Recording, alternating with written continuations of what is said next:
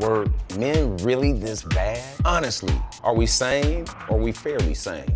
Men aren't just objects. We're human beings. Let's just stay focused here. It's early. I haven't had any coffee. What is this glass ceiling? I like a natural man. Good morning, Natasha. Do you want some coffee?